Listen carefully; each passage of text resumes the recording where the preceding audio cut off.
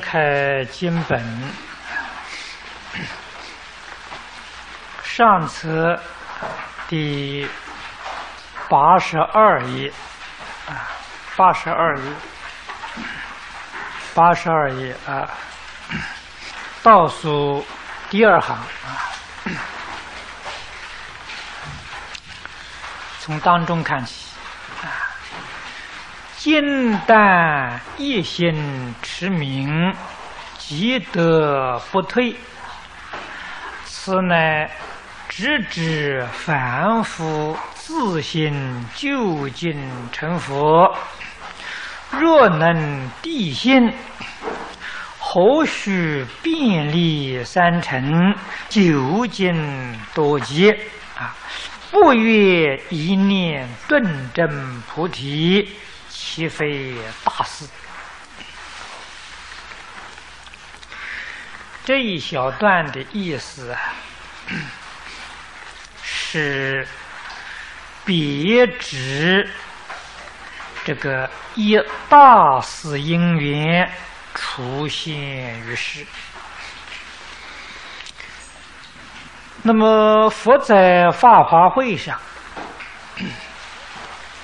说出这一句话之后，各宗啊解释都不相同。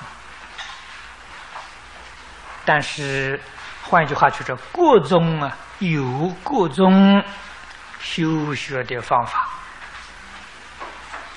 有他 成佛的次第。可是，就近来说，啊，我们以最客观、就近来说呢，确实无过于本经。啊，为什么呢？这部经修行的方法，就是叫你一心持名，啊。这个问题，呃呃，这个着眼就在“一心”两个字。那么我们现在持名，为什么得不到受用？啊，原因呢，就是我们持名呢，都是用的散乱心持名，不是用的一心。如果一心持名啊，没有不成就的啊。这一点，如果想真正自己要成就，要早一天成就，那你不能不注意啊。何以晓得散乱心呢？你比如说，我念佛了啊，我还想参参话头，还想念念咒。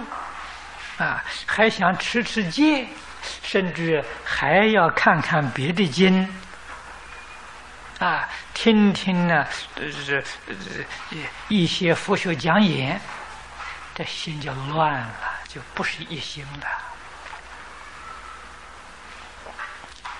我们看古来许许多多的大德，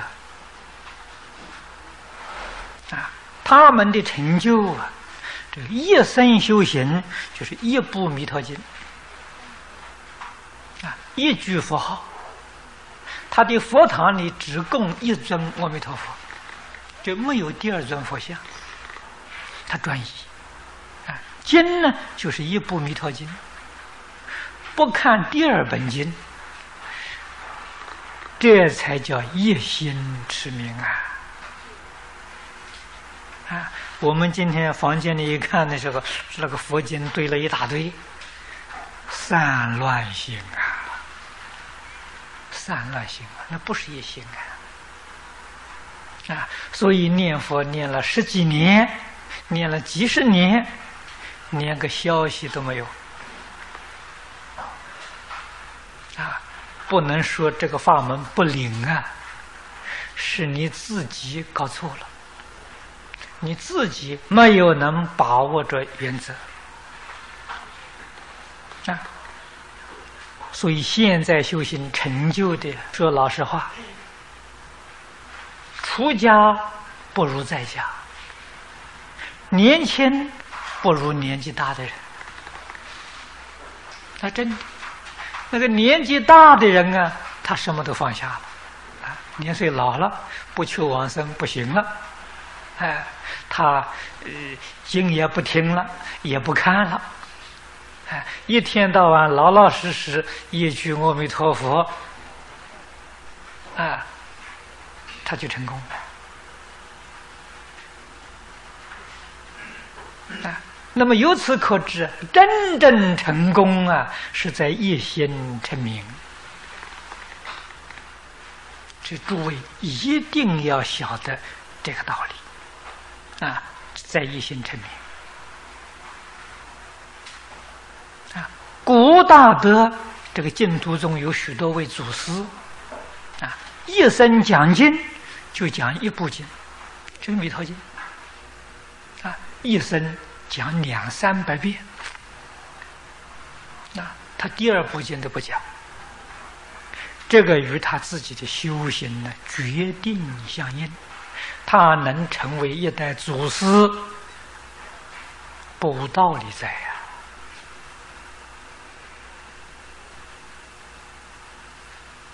所以法门的殊胜从哪里看？这就叫殊胜。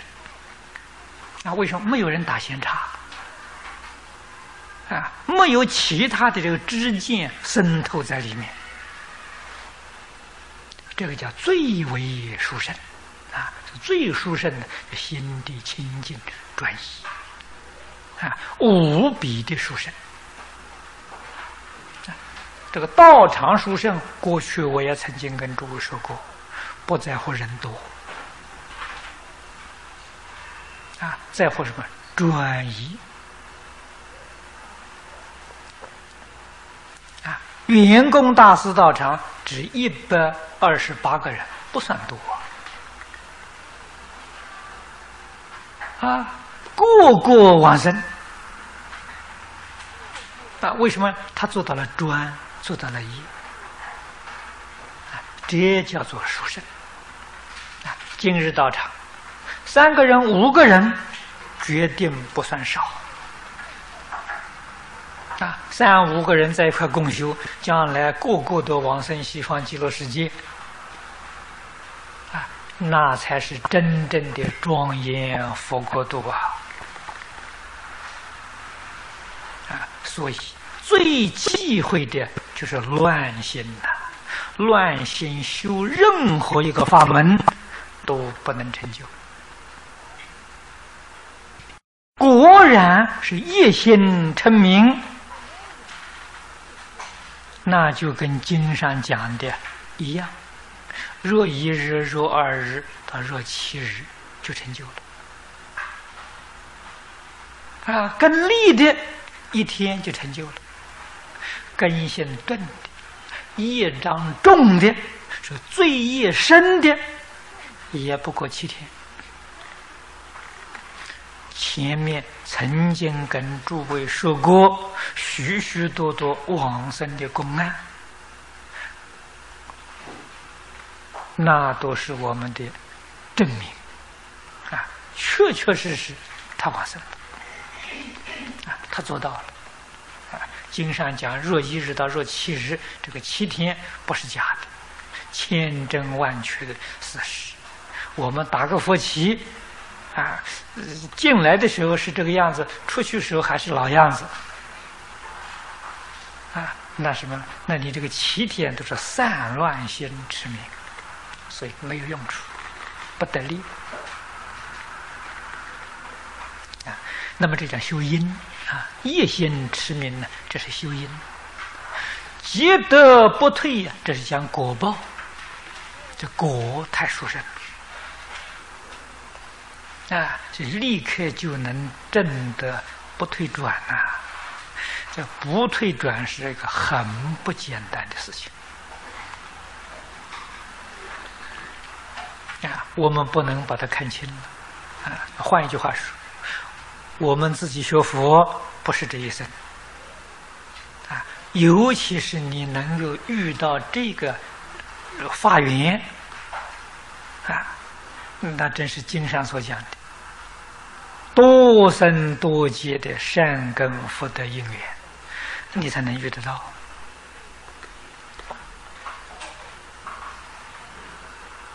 啊。那么，既然是生生世世都修学了，可惜的，我们功夫不得力，那就是常常退转，是进进退退，这是不能成就啊！也就证明了生生世世念佛了，都是用的善心念佛啊！世间。名闻利养放不下，心散乱了，一会儿想这个会想那个，啊，佛法里面对于一切经论法门放不下，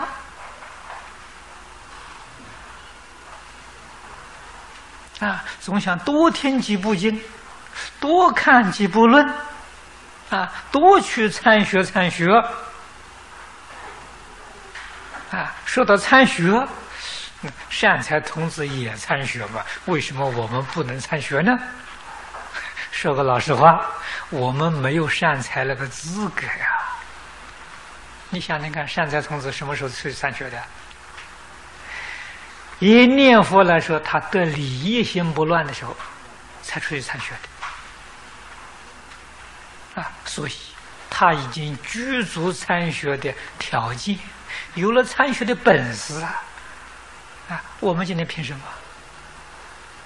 啊，人家去参学，他是一心持名去参学的，绝对没有破坏他的一心。啊，他有这个能力。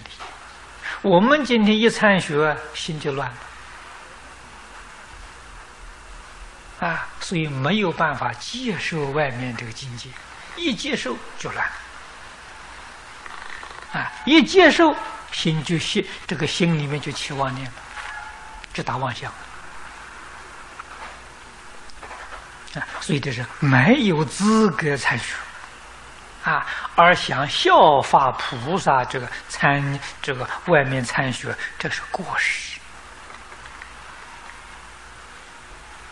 啊，所以这一点呢，一定要明了，啊，在古大的这个参出去参学，都要大彻大悟，啊，禅宗是大彻大悟以后，这个有资格参学，啊，老师一定叫你参学，不会留你的，啊，那么在净土宗里面要证得理一心不乱，这个有资格参学。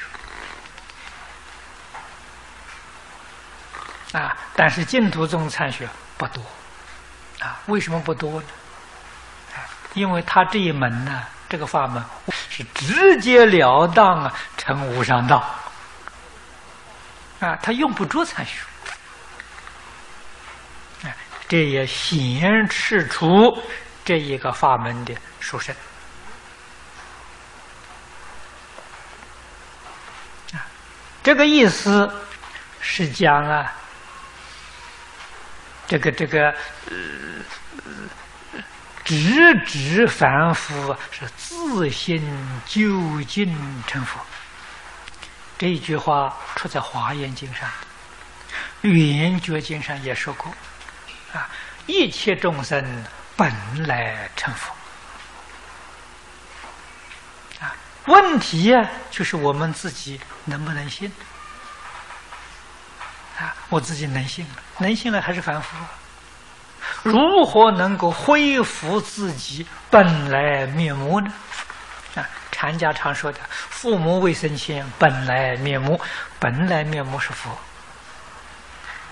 啊，怎么个恢复呢？就是一心持名，就用这个方法，就能够恢复。啊，可是你要信得过啊。因为你自己没有自信心，所以你才动脑筋去参学，这样便利三成。九经多劫，你要搞这一套吗？啊，信不过吗？那就没法子了。可是你越是这样搞法了，对你自己这个修学时间上来讲，越是耽误了。啊，没有那个专一的人，成就的快，成就的殊胜。啊，因为智慧是你本来具足的。啊，般若智慧呀，是你本来具足的，不是外头来的呀。不是说我去念了大般若经，我般若智慧就开了，没这个道理。啊，你要是善心念大般若经，你念上一百遍，你还是糊里糊涂的。啊，那么经有没有用呢？有用，经是帮助你开悟的，它确实有用。啊，要怎么样读呢？要以清净心去读诵。每一部经都是帮助你开悟的。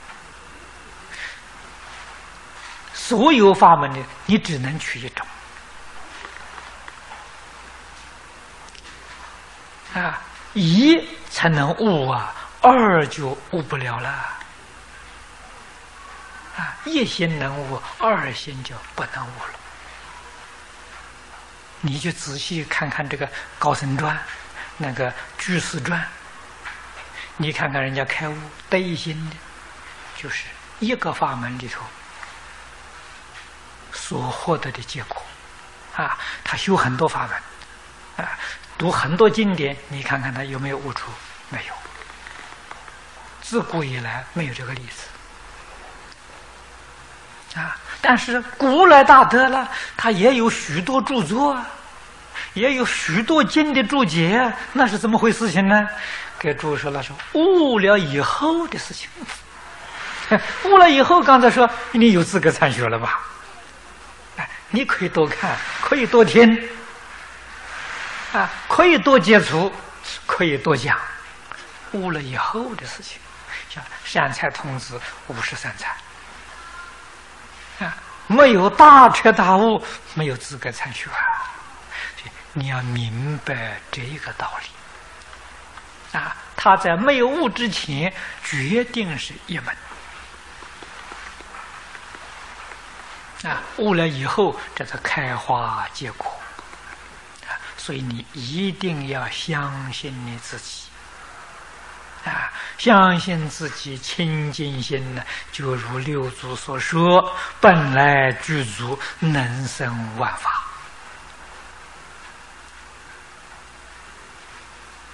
啊，自信就是清净心，就是一心，所以一心是真心的，啊，与佛最接近，啊，与佛能够相应。散乱心是凡夫心，与佛不相应。用散乱心，这才要经历多劫。时间长了，用一心呢，那时间就短了啊。所以一日到七日就能够成就啊。所以此地讲啊，一念顿证菩提呀，岂非大事啊？拿这个来解释《法华经》里面以大事因缘出现于世。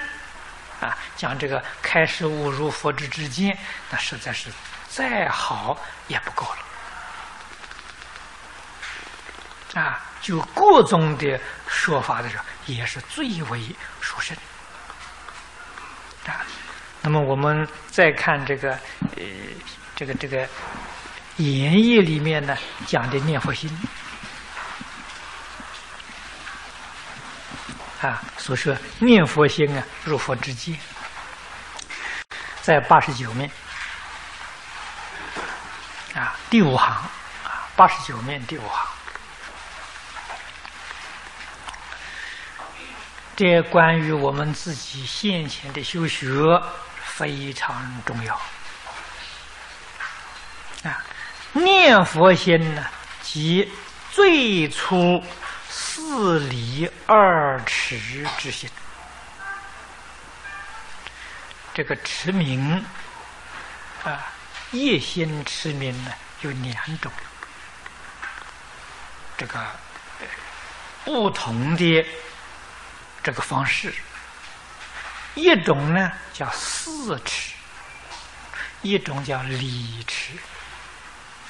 啊，四尺里头没有理持，理持里头有四尺。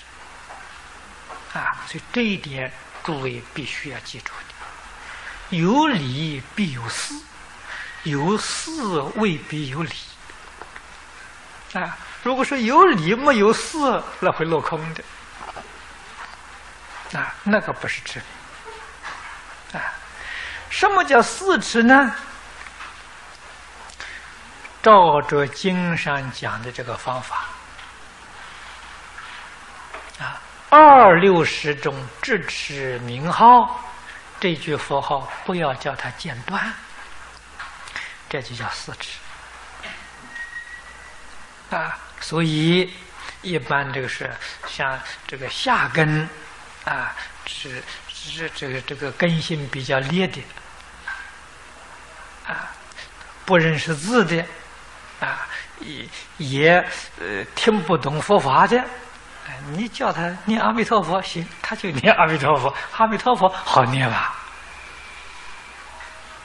啊，你叫他你一天念十万声，他就老老实实念十万声。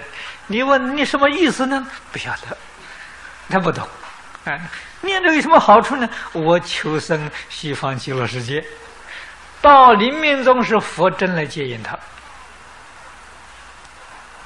啊，诸位可不要小看着这个四尺，四尺啊，吃久了会开悟。为什么？他一心。他心清净，没有妄念啊，所以念久了啊，会开悟啊，会得定啊，这个叫四尺啊，所以四尺也能念到事业心、利益心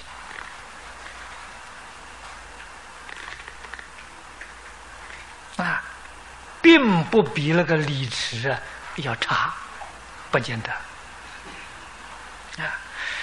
那么，什么叫理持呢？理是对于这个道理，啊，净土法门的理论，啊，这个方法境界完全通达，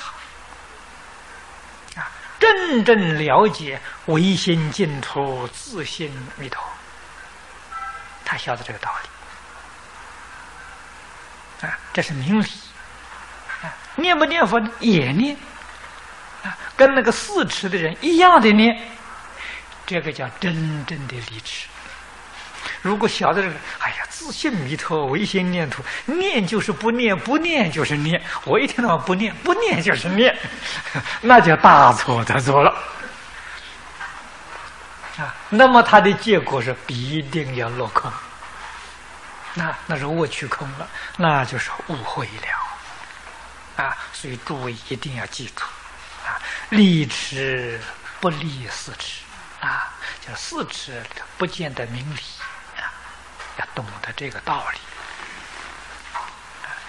这两种方法，只要一心啊去做，都能够入佛之境，啊，入佛之境是真果，啊。所以底下讲呢，入佛之见乃最后极光无上果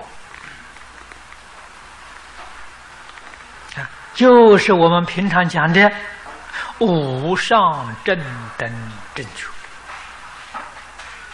啊，这是讲啊圆满的佛之见。如果讲部分的佛之见呢，那么你从这个念佛念的理一心不乱呢，就入佛之间了啊！所以说破一片无明，正一分法身，就是入一分佛之佛界啊，那是分正啊。所以此地这个地方讲的，这是圆满，哎，是圆满，是无上正等正觉。是借此四离二持啊，是皆从有念而起啊。这是讲两种持名。都是从有念开始啊，所以这个法门好处就在此地。哎，这个理明不明了没有关系，明了很好啊，不明了也行。这跟其他的法门不一样啊，其他的法门呢，一定要先明理而后修行。啊，它的过程是性解行正啊，这个是一般法门呢，通通是依照这个程序。这个法门呢，则不然啊，它可以不要解，它就有行行，后面就有解有正啊，或者我们可以讲它呢，行与解可以同时来啊，不分先后啊。其他的法门呢，先解后行啊，这是八万四千法门，其他的法门都是如此啊。这是净土上特别容易、特别简单道理，就在此地啊。可是你要记住，你要专，你要专一才行啊。你要不专一，没用处。啊，说老实话，无论是顿根或者是立根，真正要这一生当中求生西方极乐世界，没有别的，啊，这个别的诀窍没有，唯一的就是一心。啊，我不看一切经，不是那个经不好，他会打闲岔，啊。会叫我分心，啊！我不听别的这些法师们讲经，不是说他讲的不好，我听了也会起妄念，哎，会打闲岔，换一句话说，破坏了自己的一些，啊！我在讲席上也常说啊，古人讲啊，啊，灵。这个这个呃呃，是灵动千江水呀，是不动道人心啊。啊，听经怎么样？我是一个修念佛的，一心持名的，听听他讲讲禅，听听他讲讲密，我的心也动了，我这个修道的心被他破坏了。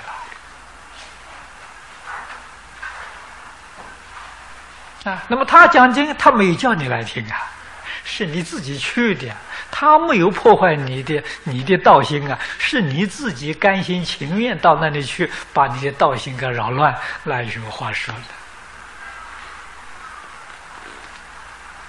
啊，这是我们自己错了，啊，自己错了，啊，自己果然能够把握得住，啊，不动心了，那个可以。啊，什么道场都可以参学，啊，就像善财童子五十三参一样，啊，自己没有这个把握，啊，我们还会被外面境界所转，那你自己要当心，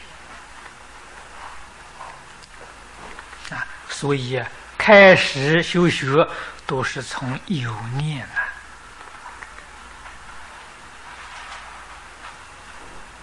念之既久，根尘自空啊，助念自乐啊。这是讲你功夫得力了啊，得力怎么样呢？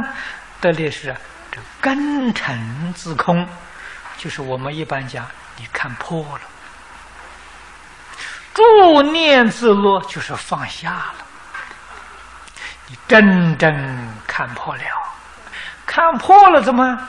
你就不取相了，就不着相，啊，像《金刚经》上说：“不取于相，放下了就不动心了，就如如不动。”这是功夫成就啊！念佛三昧现前，啊，这个境界最低也是四一心不乱。啊，到这个这种功夫了，这底下一说哈：“若复精进不已。”是何念佛之念一佛陀罗，断入五心三昧。那么这个是理一心不乱的境界。功夫再往上提升一层，是精进不已。啊，精进不已，要不要念呢？要念。虽然是外不取相，内不动心。这一句佛号还是继续不断，就像《楞严经》上大势至菩萨一样，度摄六根，净念相继。啊，他念佛那个佛号一声一声相续，没有中断的。啊，二六十中佛号不中断。啊。虽然这个念佛之念也没有了，啊，也不执着了，可是佛号还是念。这个时候的念，真正的是念而无念，无念而念。啊，无念而念，不是没有念，还是念。啊，阿弥陀佛，阿弥陀佛，生生不绝。啊，那么既然念了，为什么又说无念呢？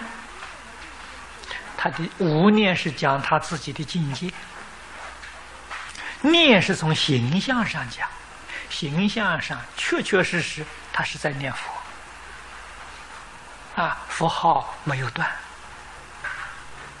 从他境界上来说呢，他的境界高了。啊真正入了三轮体空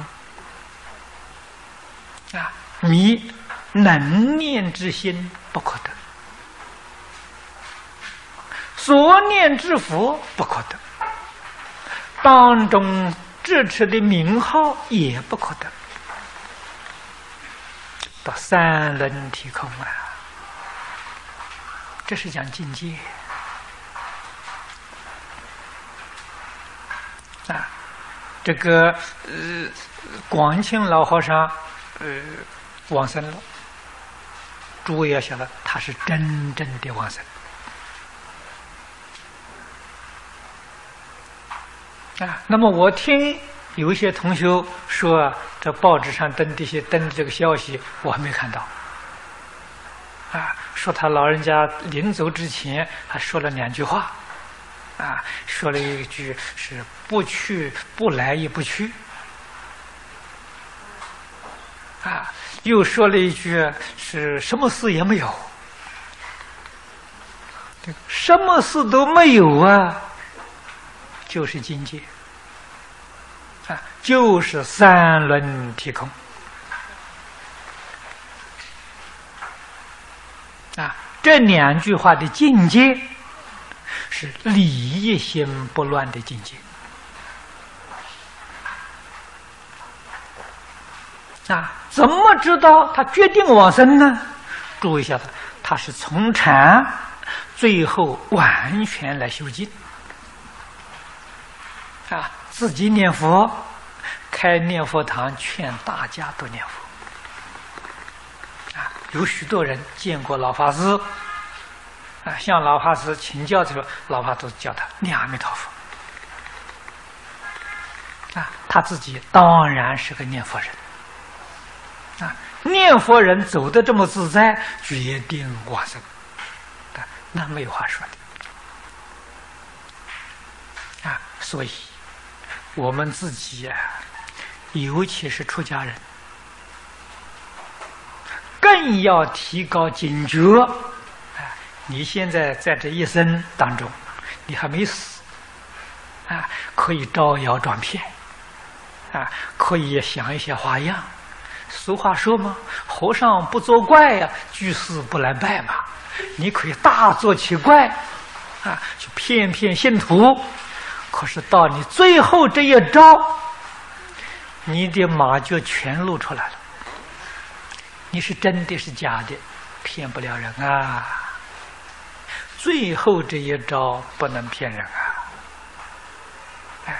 大家会看得清清楚楚、明明白白。啊，你要是糊里糊涂就死掉了，准堕三途，准堕三途。在家同修修行，这个念佛自自在在往生，像广清老和尚一样的这么自在往生的，我看到很多。啊，出家人当中，我我就看到这么一个，所以真的，这是。出家人不如在家人，啊，刚才说了，年轻人不如年老的人，啊，年老的人真放下了，没有妄念了，啊，什么法师讲经他不听了，他在家念佛要紧，不打闲茶。年轻人喜欢跑道场，喜欢到处去参去参学，参的一脑袋的胡思乱想，邪知邪见，啊，所以不如年纪大的人。啊，年纪大的人有成就，年轻的人很难有成就。啊，你要问的时候，听经是好事啊，有什么好啊？啊，听经的目的是叫你断疑生信。我果然不疑惑了，我果然相信了，我要听他干什么吧？不要听了，回家老实念佛就好啊。啊，你决定成就啊，这是诸位要记住的。这个下面讲的这几句话呢，这就是看智慧了。啊，得四一心之后，一定般若智慧现前。啊，为什么呢？你看底下说的，啊，自然五阴俱消。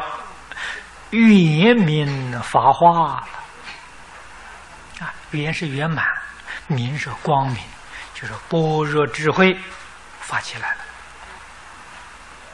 啊！现前起作用了，正如《心经》里面所说：“照见五蕴皆空。”啊！可是诸位要晓得。那个般若智慧呀，是要从五心三昧里面才能够现前。啊，无心是真心，换一句话说，有心都是妄心，不管你有什么心，都叫妄心。啊，你有心念佛，这个心还是个妄心。啊。前面说了吗？我们是初学嘛？初学的人啊，那都是用从有念而起嘛。哎，这就是从妄心修行起啊，修到功夫成片，还是妄心，还是有心；到事业心不乱，还是有心；要到理业心不乱了，才入了无心三昧。啊，所以理业心不乱了，无心是无妄心，不是无真心。啊，所以这个无心三昧啊，无心是无妄心，换一句话叫真心现前了。啊，有了妄心啊，真心就不能现前。啊，无妄心，真心就现前。啊，所以真心里面透露出来的般若智慧，就能照见五蕴皆空。啊，那么由此可知，这个大般若经是自己本来具足的，不是外面来的。啊，你要想修大般若，你一定要修清净心。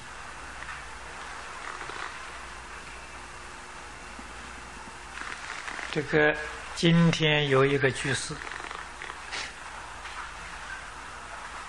啊，问了我一个问题，说观音菩萨念了一遍大悲咒，就顿超十地。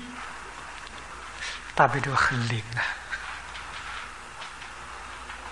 不能不念了。嗯，好，你念了多少遍呢？一天总念个十遍，念了有好几年了，你怎么样啊？超了十地没有啊？还是反复？你为什么超越不了呢？因为你念的跟观音菩萨念的不一样，不相同，不是音不同，不是调子不同，不是字不同，那些都同，用心不同啊。你用的什么心呢？你用的是个妄想心，不但是个妄想心，还是最大的一个烦恼心。你用的是贪心呐！我要赶快登师地，我多念几遍，我就会登师地了。你看，你是贪心去念呢？啊，佛法都是断贪嗔痴的。你用贪嗔痴来修学，就增长贪嗔痴，你怎么能成功呢？这个是不可以不知道啊！啊，观音菩萨这一遍大悲咒念出来，把这个大慈大悲的心念出来了，所以才能够顿超十地呀。我们念上一万遍都是自私自利，那有什么用处呢？不有用嘛！诸位要晓得，大悲咒是讲的大悲心啊，大悲心不能现前，大悲咒也白念了啊！可见的，一如何用心，这是修行人的关键。啊向下这段文呢，就讲它的作用了。啊，如是乃超，是心，摄住，摄行，是回向，四家行心。菩萨所行金刚实地，等觉圆明，这个可真真了不起。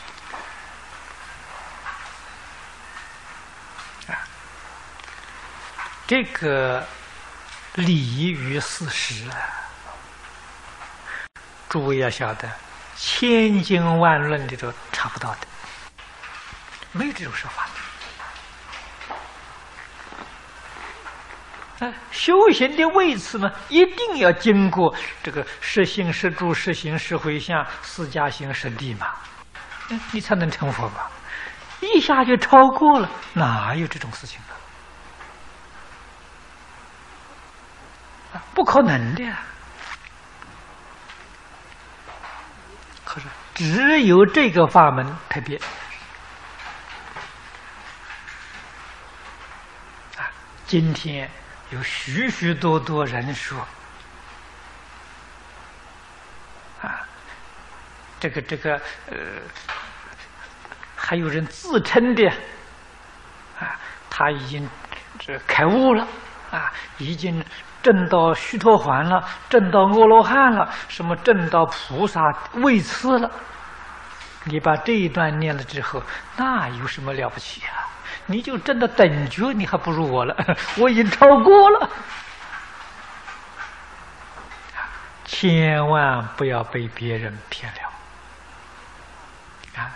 这个法门的确在现前的时候，的确的是没有超越，你是反复。如果你一往生就超越了啊！不管你往生呢是哪一个哪一个哪一种品位啊，即使是凡圣同居土下品下生，那经上给我们讲的清清楚楚，远正三不退啊，我常常提醒同学啊，你要注意那个“圆”字。为什么呢？圆正三不退呀，是等觉菩萨，他是真正超越了。啊，是实心实住实心实会相四加行，金刚实地，他真超越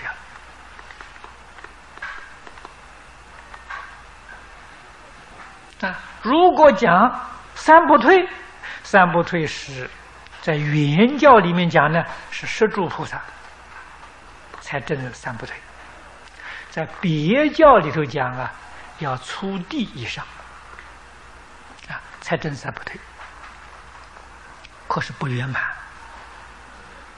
啊！圆满了到等觉才圆满啊！啊，这个等觉要圆教的等觉啊，别教的等觉不行，别教的佛也不行啊，要原教的等觉啊，才能够说是圆正三不退。这个是净土殊胜，不可思议啊！啊，所以任何一个人往生，只要真正往生，我们就可以说，他就成佛了。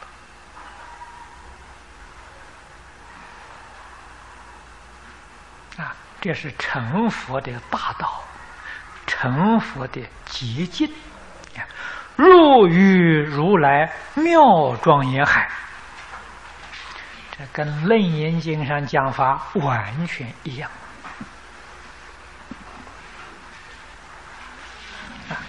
圆满菩提，归无所得，这个两句话也是引用的《楞严经》啊。你的真如本性，体相作用。完全显露出来了，啊，所以是谓之入佛之见也。这一段给我们解释的这个入佛之见之见呢，它是解的非常非常的圆满，啊，是一种入圆满佛的这个之见。我们从上面这一段读下来之后，我们会感觉到，我们在一生当中能够遇到这样的法门，这是应该值得庆幸的。但遇到这个法门之后，如果不能够一心受持，那真是啊。当面错过，太可惜了啊！如果诸位说我现在年纪还很轻，我可以多学一点啊，多看一点，多听一点啊，到我年老的时候，我才来专专门专搞啊，这不也很好吗？是的，哎，也也不错。我告诉诸位，我就是这样搞下来的。我年轻的时候什么也看呢，啊，大藏经一部还不够啊！啊，你看我自己收藏的大藏经就有七八部之多，啊，有现在送到国外的时候，我送了五部到国外去了，啊，也就是要博学多闻。啊！可是我看你们这个年轻人呢，走我这个路子啊，我就觉得非常惋惜。为什么呢？我今天是后悔莫及呀！啊！如果当年真有个好老师来指点我，啊！不过说老实话，那个时候也很顽固，要真正叫我修一门，也许我不甘心，我不肯干了。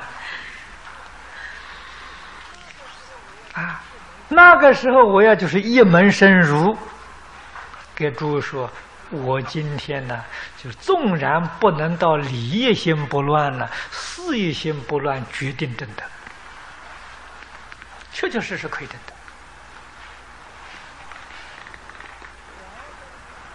啊，往生西方极乐世界可以自由自在，喜欢什么时候去就什么时候去。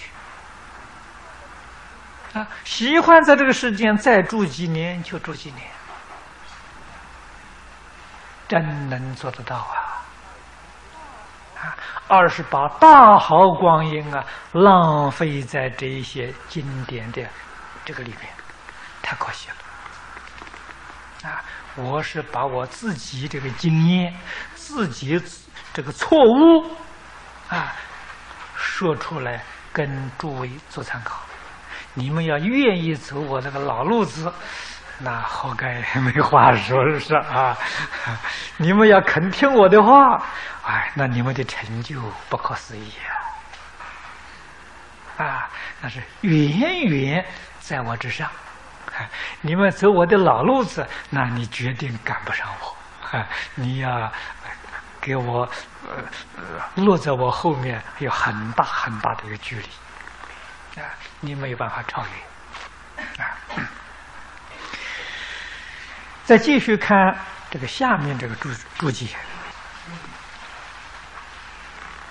啊，这个苏超了，我们前面都念过了啊。现在再来看这段柱子，这个柱子补充前面我所讲这个意思之不足。本于度生成佛者，呃，这是说，在这个这是解释哈，上册八十二面第五行。啊，第五行幕后的两个字。啊，本于度诸众生，悉皆成佛。啊，就是解释这一句的。说《法华语》，佛自助大成，如其所得法，定会立庄严，以此度众生。若以小乘化，乃至于一人，我则多艰叹，此事为不可。那么，这是引用《法华经》的一段经文。说明世尊处世的本怀，也就是他的本愿。佛自助大成，要是说穿了，啊，究竟圆满的大成，就是西方极乐世界。怎么晓得的呢？佛在《华严经》上告诉我们的啊，《华严经》，如果我们说《华严经》是究竟圆满的大乘法，你相不相信？啊，当然相信，没有话说的。《华严经》是佛法的根本法门，一切经皆是华严眷属，华严是。究竟圆满的大乘法，可是这个大乘法到最后，有普贤菩萨十大愿望导归极乐。那么极乐世界不是究竟圆满的大乘是什么呢？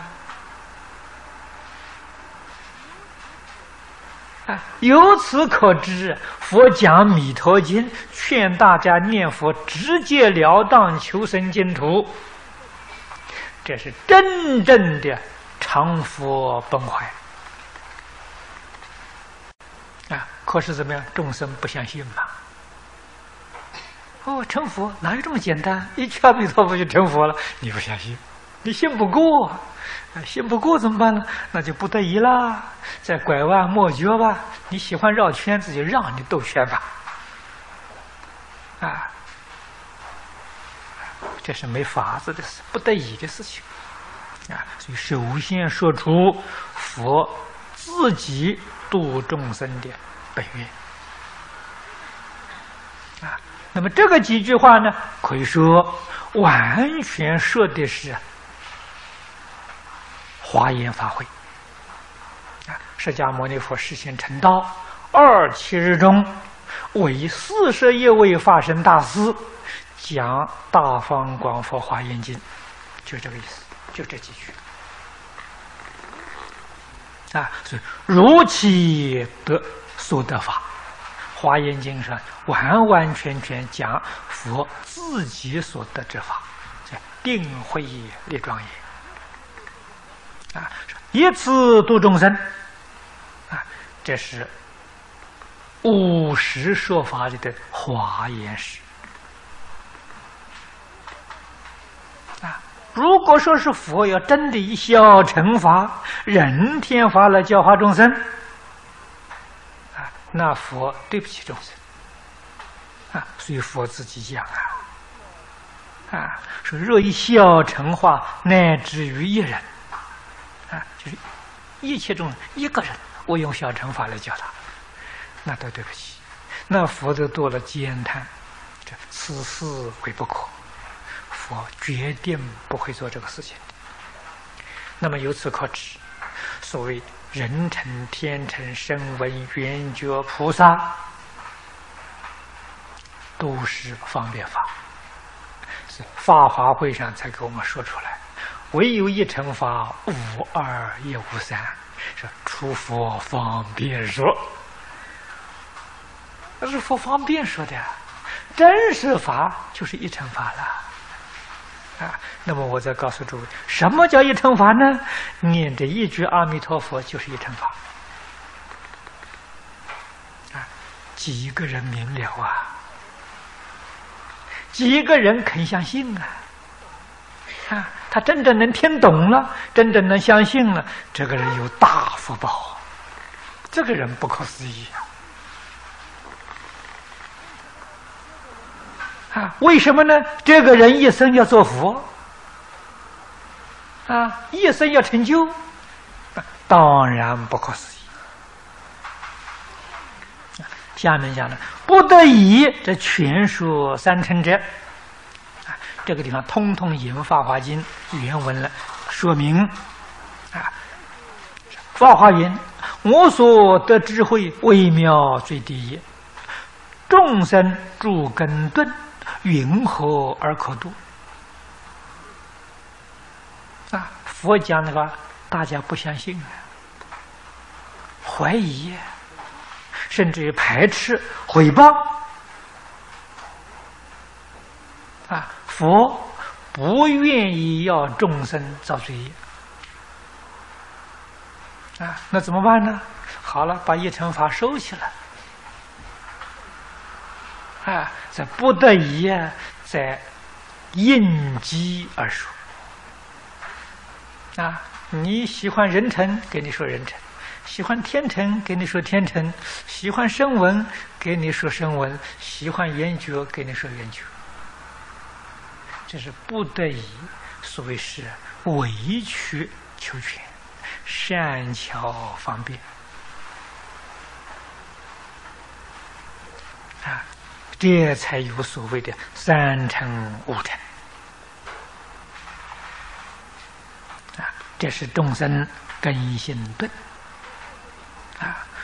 那么佛说这个，他也有理可言，故佛教化众生用这种方便法。就寻念过去佛所行方便力，说我今所得到啊，一因说三乘啊，这就是讲这个是呃呃华严以后。啊，暂时把真实法放在一边，以善巧方便来接引大众。可是到法华会上呢，这个众生根性成熟了，啊，既然成熟了，换一句话说，他这个有相当聪明智慧，也有啊很大的这个雄心毅力，啊，这个时候应当要开权显实，啊，要说真实法了，这后知。技术回归一者，这是讲这个佛一生的教化到末期的时候，啊，学生成熟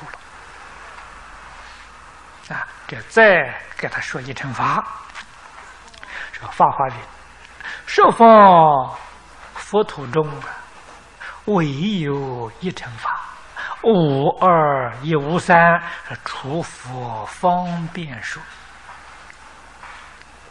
这把真实话说出来了。啊，二乘是大乘与小乘，三乘呢就是这个这个呃声闻缘觉菩萨。如果说五乘呢，再加上人天，啊，这些通通叫方便说。啊，说唯此一事实，与二则非真。跟你讲，大乘小乘都不是真的啊，唯有一佛乘，这是真实的。是终不以小乘嫉妒于众生，这是佛教化众生的最高原则。啊，佛也真正对得起一切众生。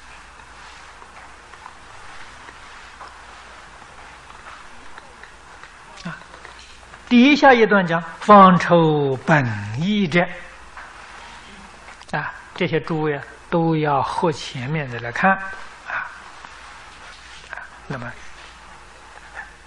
这个意思也是《法华经》上说的：“说我本立誓愿，欲令一切众如我等无异，如我悉所愿，今者已满足。”佛希望我们跟他一样啊！可是我们呢，说老实话，应该谦虚的时候不谦虚，不应该谦虚的时候太谦虚了啊！你看看平常待人接物，供告我们，应该谦虚嘛？你供告我们，瞧不起来。现在对释迦牟尼佛，应当不要谦虚啊！你又太谦虚了。哎呀，我我只要下品下身就好了，我怎么敢跟佛相比呀？太谦虚了，颠倒了，真真叫颠倒了。佛希望你跟他一样，不要太客气了。这才是佛的本愿。啊，如何叫你快速的能跟他一样呢？给诸位说，唯有往生西方净土。啊，这一往生呢，虽然不不是真正的就成佛了，可是你已经与佛差不多了。为什么？圆正三不退嘛。啊，所以他那个境界不可思议。你要说他佛吧，他不是，他是凡夫。他是带业往生的，你要说他凡夫吧，他圆正三不退。他圆正三不退的地位是等觉菩萨，那他又不是等觉菩萨，他又不能算凡夫。啊，所以这是不可思议的境界，啊，这是这是西方世世界的殊胜处。啊，所以这一部经。啊，十方三世一切诸佛之所赞叹，道理就在此地。啊，这种境界是十方三世一切诸佛世界里面所没有的，唯独阿弥陀佛这个世界圆满具足。啊，所以。这部经，我们可以肯定是十方三世一切诸佛共同弘扬的啊！而且在弘扬当中，这是最重要的一部经啊，最殊胜的一个法门。换一句话说，其他的八万四千法门都是补助的法门啊，辅助他的。帮助他的这个法门才是真正的主法门啊！可是今天有几个人能够认识这部经啊？能够了解这个呃事实的真相啊？他真明白了，他就死心塌地一句佛号念下去了啊！真正明白了，什么都不要了啊！叫你看什么经啊？就这一部经够了。不要再找第二部了，啊！修什么法门呢？一句阿弥陀佛就可以了，啊！所以古大德一天十万声佛号，他也不念经，他也不念咒，啊！他就是二六十中这十万声佛号不间断，这也就是他的扩充，啊！天天如是啊，上品上生啊！啊，那是对于这个法门真正认识的人，他才能做得到。啊，正所谓是为上智与下愚不移。啊，上智的全部透彻了，他死心塌地了。啊，一句佛号念到底了。啊，下愚的人呢，就刚才讲的，啊他不认识字，没念过书。啊，什么事情也不晓得，你跟他讲，他他他也听不懂。哎，所以他呢，一句阿弥陀佛也念到底，一天十万声佛号，他做得到。啊，他说这个好办。哎，为什么不要用脑筋嘛？哎，他能成功。啊，所以上智之人容易成功，下愚之人也容易成功。最难办的就是当中的半吊子，难办了。说上也不上，说下也不下。啊。我们再看底下这一段，是种种法门前身不一者，啊，这就是佛为当中啊这一类人说的，啊，这是最麻烦这些人，最难度的人，啊，正是地藏菩萨本愿经里面所说的刚强难化了。啊，这就是中等根性的人，刚强难化。啊，上至于下愚，很好说话。啊，佛不操心。啊，那是佛的好学生。啊，是最麻烦就是中等根性的人。啊，说如阿含宝证，啊，方等弹劾，般若淘汰，这是。佛教学的这三个过程啊，阿含可以说是佛教的小学啊，就是小乘法啊，声闻缘觉都是根据阿含的经论，阿含也是有三藏，就是小乘的三藏啊，它有经律论啊。依照这个理论方法去修学，你能够断三界八十八品见惑，就证小乘的出口。这个时候就保证你不堕三恶道。这保证意思是在这说的。同时呢，又有一个保证：从此以后啊，天上人间七次往来呀，证摩罗汉果。那么，也许诸位要问了：如果到第七世来的时候，这个世界没有佛怎么办呢？没有佛也不要等第八世。没有佛的时候啊，自己能证果，那叫独觉。是圆觉的一种。如果遇到佛了，可能是正声闻啊，正这个阿罗汉。没有佛，没有佛出现在世间的时候，就正辟支佛。辟支佛叫独觉，自己觉悟开悟而正果的。所以说，这是保证，决定不要到第八世，就是天上人间七十万。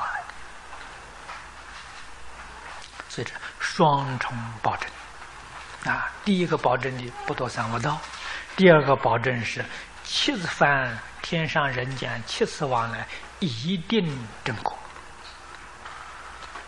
啊，那就超越三界了啊。到方等的时候啊，这时佛就呵斥了啊。劝勉这些修小乘的人发菩提心，回小向大啊！所以佛呵斥这个小乘阿罗汉的辟支佛，教牙白种啊，没出息。等于小学毕业了，他就满足了，他不再想念书了，这很可惜吧？应当鼓励他去念中学啊，要鼓励他升学。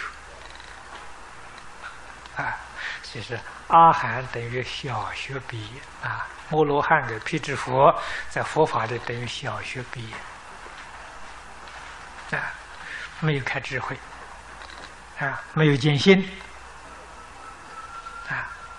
这个戒定慧里面他只得戒与定啊，他没有智慧啊，所以我们一般讲呢，他所成就的是。九次地定啊，因为前面的八定都是在世间，没有超越世间，叫做世间禅定啊，就是四禅与四空啊，叫四世间禅定。那么第九定呢，超越了，超越三界了啊，超出生死轮回，这是阿罗汉与辟支佛，但是没有见性。那么这个境界，跟我们念佛人来讲呢，如果讲就单讲断烦恼，啊，从这一方面来说，跟四一心不乱的境界完全相同，啊，因为阿罗汉辟支佛已经断见思烦恼了，啊，断尽了，而四一心不乱的人也断尽了。啊，也断尽。可是诸位晓得，这个念佛人呢，在这一方面跟毗支佛、阿罗汉是平等的、等齐的；其他的方面比他高的太多太多了。啊，无论在智慧上，在功德上，绝对不是阿罗汉、辟支佛所能够相比的，高的太多了。啊所以，这个在方等时候啊，佛特别的呵斥小乘人，啊，鼓励修学大乘。那么，在第三个阶段，就是般若时候了，啊，如果要算法和算华严呢，那么这就是第四个时期，啊，般若淘汰呀，啊，淘汰。是不是像学校把这学生都淘汰掉了？不是的，是淘汰自己的分别之处。为什么呢？因为在方等教学当中啊，确确实实讲许多经，你会有许许多多的分别之处，怕你呀死在名相里面啊。怕你执着在这个境界里头不肯舍弃掉啊，所以般若淘汰是淘汰自己一切妄想分别之处啊。般若讲空嘛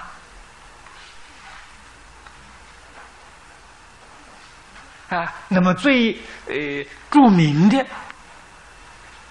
啊，就是《大般若经》里面的《金刚般若》这一份啊，我们现在读的《金刚经》啊，是六百卷大般若里面的一卷，特别提出来，单独流通的啊，把我们的凡情淘汰尽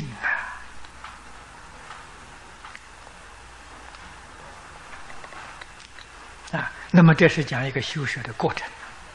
这个凡情淘汰尽呢，那就可以入一尘了。啊，所以到法华会上开权现实，啊，入佛之境，啊，这是有这么一个经历。啊，说何须便利三乘者？哎，这叫你要是一心持名，用不着搞这一套啊。这一套相当辛苦啊！啊，的确要耽误很多很多的时间啊，耽误很多时间啊，要费不少的精神啊，去修学啊。如果你真正能够信得过，这就是解释前面说：“若能地信。”何须便利三乘？你直截了当就修一乘法了吗？啊，不必绕这个圈子，不必找这些麻烦了。啊，所以我现在是完全觉悟了，明白了，所以我什么经典都不要了，啊。你们哪一个爱哪个就拿去，我不要了，是不是？我已经从上了当了，是不是？你们去上当，你们去搞去，我不再上当。啊，我跟诸位说的呢，我现在的是我印经，啊，我印经只印三部经，啊，有钱就多印，印的越多越好。永无止境的去印，啊，一部啊就是这个《弥陀经》《苏超演义》。我现在要找几个同学帮忙，把这两个本子汇在一起，看的时候方便。其实两个本子对照看很不方便，所以我们要印绘本，啊，把两个合起来的时候，把这注解汇合在一块，重新排版，重新做个版。啊，这个对于我们修净土的人有很大很大的帮助。啊，所以我印这个书。啊，除这个之外呢，我印西方工具。啊，那个西方工具啊，也是我花了差不多五年的时间的。啊，我想找几种书的时候，就是说我们呃念佛的人依照这本书的时候呢，就行了。一生照这个书去修学，决定能够完成。啊，挑挑拣拣的选了五年呢，才选成这四样东西。啊，四样东西定在一起。啊，第一种就是《弥陀经要解》讲义。啊，第二种西方缺指，第三西方工具，第四圣门法界录。啊，我把这四样东西合订成一册，啊，所以这是一个定本，啊，可以大量的翻译流通，啊，除这个之外呢，还有一本呢，就是《华严经》，《华严经》太大了，我也不敢搞了，我现在只搞里头的一本，就是《普贤菩萨行愿品》。行愿品有四十卷，四十卷我只取最后一卷。啊，清凉大师特别把这一卷提出来别行，他的弟子啊，就是他的徒弟，宗密大师又给他做了个注解，就是别行俗抄，啊，就是最后这一卷的注解，注的非常详细。啊，所以我印经就是三本，别行书抄，这个演义绘本啊，西方工具，其他的书我不印了。现在印经的人很多，让给他们去印去，我不干这个事情。啊，那么我印这个三种经，讲这个三种经，自己修行也照这个三部书，啊，其他的都不要了。